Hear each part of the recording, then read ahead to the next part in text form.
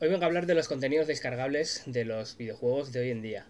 Eh, esos, los ya llamados DLCs, esos eh, cachitos de juego extra que te añaden, bien sean misiones extras o apariencias nuevas para los luchadores del juego de lucha que más te gusta, o yo qué sé, o sea, cada, cada uno tiene sus cosas diferentes.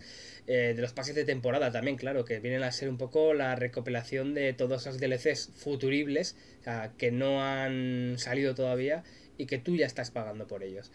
Es, a mi juicio, y siempre a mi juicio, la gran estafa de los videojuegos actuales. Me explico. Eh, tú, antes, antiguamente tú cuando te comprabas un videojuego, sea el que sea, eh, no hay que remontarse muchos años atrás, te estoy hablando ya desde la PlayStation, hasta la PlayStation 2, por ejemplo, o la Xbox clásica. Eh, tú comprabas el juego. Lo comprabas terminado. Comprabas el juego al 100% terminado. Que podía tener bugs, que eso no te lo discuto, porque todos los juegos, absolutamente todos, tienen algún fallo que otro. No se libraba ninguno. Uno más, otros menos, pero comprabas el juego completito. O sea, lo podías jugar al 100%. Ya lo habías comprado, ya lo tenías ahí. Eh, pero ahora está, está, decirlo moda, pero es que tampoco es una moda, es el mercado, es el mercado que tenemos hoy en día, en el que eh, compramos eh, un juego supuestamente acabado, digo supuestamente porque vamos, no está acabado, y luego tú tienes que pagar un dinero extra para descargarte un contenido adicional que le añade o bien sea más horas de juego porque te añade misiones o, pues, o apariencias o lo que sea. Eh, es que me parece una tomadura de pelo. Así de claro, me parece una tomadura de pelo monumental. O sea, es que la culpa encima es nuestra. O sea, la culpa no es de los creadores de los juegos. O sea, te están vendiendo el juego que a priori te lo compras entero, pero eh, ya están planeados, incluso a veces con dos semanas de haber salido del mercado, ya te están intentando endiñar un, un contenido descargable previo pago. Lo que significa que el juego no está completo. Eh, lo han creado, tiene un principio, tiene un final, pero luego tiene añadidos extra. Añadidos extra que son parte de la historia en muchos casos. Lo que significa que el juego no te lo han vendido completo. No voy a entrar en el debate de, por ejemplo, del Street Fighter V que ha salido hace poco, en el que directamente faltan modos de juego que van a ir saliendo más adelante. O sea, ya es directamente venderte un juego completamente inacabado, por las prisas, por el ansia de ganar pasta, por el motivo que sea, no lo sé. Pero eh, está inacabado. Lo mires como lo mires, está inacabado. Eh, vale, que luego ya digo, el pase de temporada tú pagas y cada vez que vayan sacando el contenido adicional, pues te lo vas descargando porque ya lo tienes eh, adjunto a tu, a tu perfil, a tu cuenta. Pero ya estás pagando por ese contenido que en muchos casos supera incluso al precio del propio juego. O sea, estás pagando por contenido extra eh, muchas veces lo que, más de lo que cuesta el juego. Como pasó creo que fue con el con Evolve. Evolve era un juego de, de, monstruos en el que tú pagabas creo que eran 70 o 65 pavos, pero luego en contenido descargable si querías tener el 100%, que nadie te obligaba a comprar el 100% también hay que decirlo, eran ciento y pico, 200 euros, no, no me acuerdo la cantidad exacta, que era una puta barbaridad. ¿Y qué pasó? Pues que el juego tampoco es que tuviera un éxito arrollador.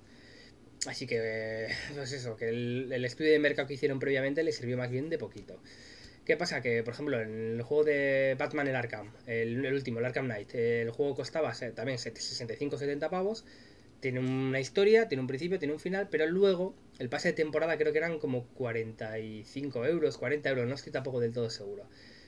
Eh, estamos hablando de casi como un 60, un 70% sobre el precio del, del propio juego.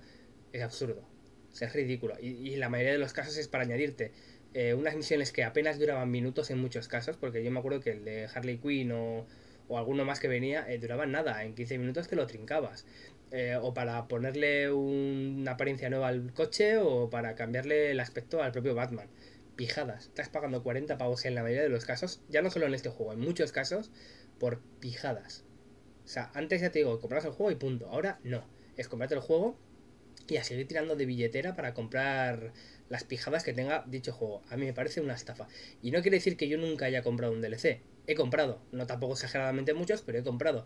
En muchos casos por curiosidad. En otros muchos casos porque pues porque el juego me encanta y digo, bueno, pues para completarlo. Y ahí es donde se aprovechan los creadores de juegos.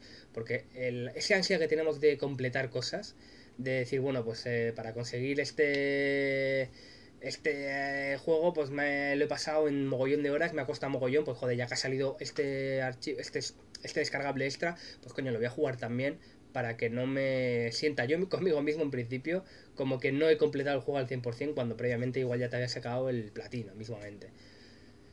Que no, señores, que no, que me parece una rotunda estupidez. Pero bueno, que cada uno, por supuesto, es libre de hacer lo que quiera. Hay gente que lo defenderá, que me parece completamente lícito. Y tú si lo compras, eh, pues me parece perfecto, me parece normal. Yo desde mi punto de vista me parece que nos estamos dejando atracar por los desarrolladores y por, por todo, o sea, por todo lo que es creando un creador de videojuegos.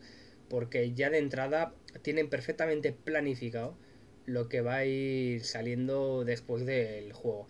Ojo, que luego hay desarrolladoras que incluso te sacan los DLCs gratuitos y yo ante eso no tengo absolutamente nada de, decir en cuanto a quejas, porque lógicamente es un producto que te están dando gratis, que no, bueno, gratis, has comprado el juego previamente, pero por lo menos no te cobran ese suplemento extra por un juego que a priori estaba inacabado. O sea, ese suplemento extra te lo regalamos ya que has comprado el juego, te agradecemos y en agradecimiento te regalamos esto.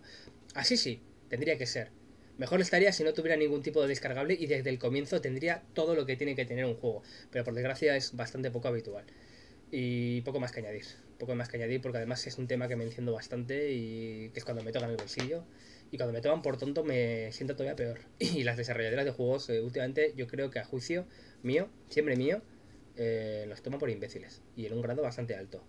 Así que, bueno, si opinas lo mismo que yo, pues estupendo. Deja tu comentario aquí abajo y si te gusta el vídeo dale a like.